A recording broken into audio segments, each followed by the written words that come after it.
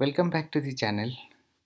So we'll see a small error with JDBC driver missing and then uh, we'll try to place the driver in the correct place and uh, then we'll see uh, how the issue has to be fixed. So I have a small uh, web application uh, which I'm I'll try to run on um, Tomcat server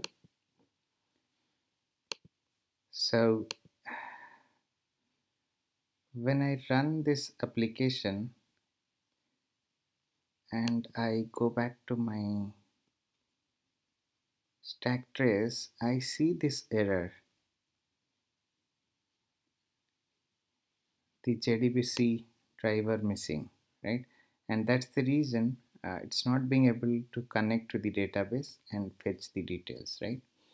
But if you look at it the JDBC connector is already present in referenced libraries but still it's not being uh, picked up. That's because we are trying to run this now on Tomcat and Tomcat doesn't have this JDBC server a JDBC driver right? So I'll stop this and then you can download it from the MySQL archives you can choose the uh, right version and uh, you can make it a platform independent one and then download it I'll give you this link in the description for this project.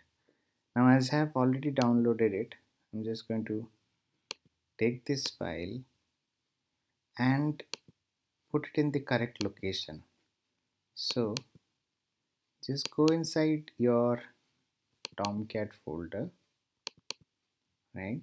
And go inside the lib folder inside tomcat and paste this item right? Post placing this item in lib folder. Go back again and try running the project right?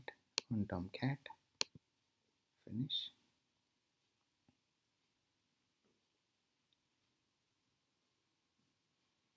and now you see the project is coming up nicely.